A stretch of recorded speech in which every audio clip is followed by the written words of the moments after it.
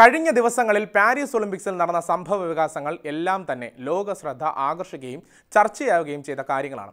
ഈ സാഹചര്യത്തിൽ പാരീസ് ഒളിമ്പിക്സിൽ മതപരമായ ഏതെങ്കിലും തരത്തിലുള്ള വേർതിരിവുകൾ നിലനിൽക്കുന്നുണ്ടോ എന്ന ചോദ്യം പല ഭാഗത്തു നിന്നായി ഉയർന്നു വരുന്നുണ്ട്. ഒരു വിഭാഗത്തെ മനഃപൂർവമോ അല്ലാതെയോ അവഹേളിക്കാനുള്ള വേദിയായി ഒളിമ്പിക്സ് വേദി മാറിയോ? എന്താണ് ഇതിന് പിന്നിലെ സത്യങ്ങൾ? പരിശോധിക്കാൻ വിശദമായി. നമസ്കാരം ഞാൻ കുഞ്ചു മുരളി.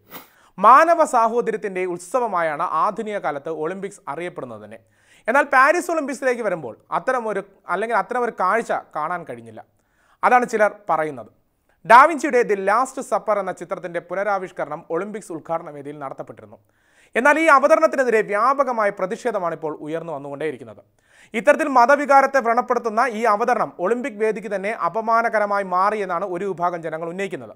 ഇത്തരമൊരു ആക്ട് ഒരിക്കലും സംഭവിച്ചുകൂടാതെയാണെന്നും ഈ സംഭവവുമായി ബന്ധപ്പെട്ട് തങ്ങൾ മാപ്പ് പറയുന്നുവെന്നും ഒളിമ്പിക്സ് പ്രതിനിധികൾ പറയുകയും ചെയ്തിരുന്നതാണ്. എന്നാൽ ആ മറുപടിയിൽ പലരും തൃപ്തരല്ല എന്നതാണ് സത്യം. യവനദേവന്മാർക്കും ദേവതമാർക്കുള്ള ആദരവായിട്ടായിരുന്നു പുരാതന ഒളിമ്പിക്സ് മത്സരങ്ങൾ നടത്തപ്പെട്ടിരുന്നത്. അതേ ദേവന്മാരെ ആദരിക്കാനോ അല്ലെങ്കിൽ അത്തരത്തിലുള്ള ഒരു സാഹചര്യം ഒരുക്കുകയാണോ എന്നറിയില്ല. ദേവതമാരുടെ വിരുന്ന് എന്ന പേരിൽ യാൻ ഹാർമസ് ഫോൺ ബിയർട്ട് ആയിരത്തി അറുന്നൂറ്റി മുപ്പത്തി അഞ്ചിൽ രചിച്ച ചിത്രത്തിന്റെ മാതൃകയിലാണ് വിമർശന വിധേയമായ പരിപാടി ആവിഷ്കരിച്ചതെന്നത് ഉദ്ഘാടന ചടങ്ങിന്റെ മുഖ്യ സംവിധായകൻ തോമസ് ഷോളി അവകാശപ്പെട്ടിരുന്നു. എന്നാൽ പാരീസ് ഒളിമ്പിക്സിന്റെ മുഖ്യ വക്താവ് വാഷിംഗ്ടൺ പോസ്റ്റിനോട് പറഞ്ഞത് ദാവിഞ്ചിയുടെ വിശ്വപ്രസിദ്ധമായ അന്ത്യ അത്താഴ ചിത്രമാണ് പരിപാടിക്ക് പ്രചോദനമായതെന്നാണ്. വിരുന്നിന്റെ മധ്യത്തിലിരുന്ന ബാർബരോ ബൂച്ച് ഡാവിഞ്ചിയുടെ ചിത്രത്തിനോടൊപ്പം അനുചിതമായ വാക്കുകളോടെ സമൂഹ മാധ്യമത്തിൽ കുറിപ്പിട്ടതും വിമർശനം ഉയർന്നപ്പോൾ പിൻവലിച്ചതും വലിയ ചർച്ചയായി മാറിയിരുന്നു വലിയ വാർത്തയായി മാറിയിരുന്നു. മറ്റൊന്ന് ഉദ്ഘാടന വേദിയിലെ കലാപരിപാടികൾക്കിടയിലുള്ള നഗ്നതാ പ്രദർശനങ്ങളാണ്. ഇതും ചോദ്യങ്ങൾ ഉയർന്നു വന്ന ഒരു സംഭവമായി മാറി. ഇത്തരത്തിൽ ഒരു ആക്ട് കാണിച്ച് അല്ലെങ്കിൽ ആ ഒരു കാണിച്ച വിഭാഗം ആൾക്കാർ മറ്റൊരു മതത്തെയും ഇത്തരത്തിൽ ചിത്രീകരിക്കാൻ തയ്യാറാകാത്തത് എന്തെന്ന ചോദ്യവും ഇപ്പോൾ ഉയർന്നു വരുന്നുണ്ട്. മത തിരസ്കാരത്തിന്റെ ഏറ്റവും വലിയ ഉദാഹരണമായിരുന്നു ഒളിമ്പിക്സ് പോസ്റ്ററിൽ അൻവാലി ദെൻ ഡോമിന്റെ മകുടത്തിലെ കുരിശ് ഒഴിവാക്കിയുള്ള ചിത്രീകരണമെന്നും ചിലർ ചൂണ്ടിക്കാട്ടുന്നുണ്ട്. ഇതും ചർച്ചയായി മാറിയിരുന്നു.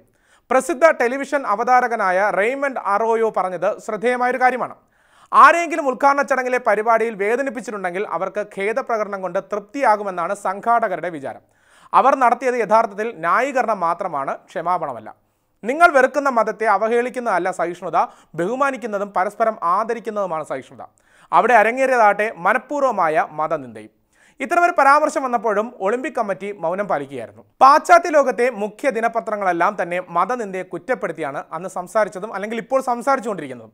ഫ്രാൻസിലെ പ്രമുഖ പത്രമായ ലെ ഫിഗാറോയിൽ തത്വചിന്തകനായ അലൻ ഫിൽക്കീമ കുലീനതയും സൗന്ദര്യവും നഷ്ടമായ പരിപാടി എന്നാണ് ഈ പാരീസ് ഒളിമ്പിക്സിന്റെ ഉദ്ഘാടന വേദി വിമർശിച്ചത്.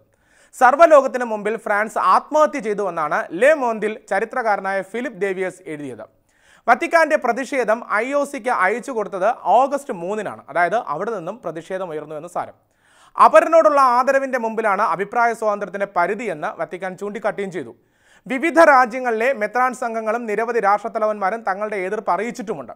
ഫ്രാൻസിസ് പാപ്പായുടെ പ്രത്യയശാസ്ത്രപരമായ കോളനിവൽക്കരണം എന്ന പ്രയോഗം ഉദ്ധരിച്ചുകൊണ്ട് ഇറ്റാലിയൻ പാർലമെന്റിൽ റൊസാനോ സാസോ പറഞ്ഞത് പ്രത്യയശാസ്ത്ര ഭ്രാന്ത് സകല പരിധികളെയും അതിലംഘിക്കുന്ന അല്ലെങ്കിൽ ലംഘിച്ചുകൊണ്ടുള്ള ഇത്തരത്തിലുള്ള വിവാദങ്ങൾക്ക് തിരികൊളുത്തുന്ന ഒരു സാഹചര്യമാണ് ഉണ്ടായതെന്നാണ്. പാരീസ് ഒളിമ്പിക്സ് ഇത്തരത്തിൽ വിവാദങ്ങളുടെ ഒരു തിരികൊളുത്തൽ തന്നെയായിരുന്നു. നാളുകൾ കടക്കും തോറും പാരീസ് ഒളിമ്പിക്സിലെ ഇത്തരം വിഷയങ്ങളും വർദ്ധിച്ചു വരുന്നുണ്ട്. അത് യഥാവിധം ചർച്ചയാകുന്നുമുണ്ട്.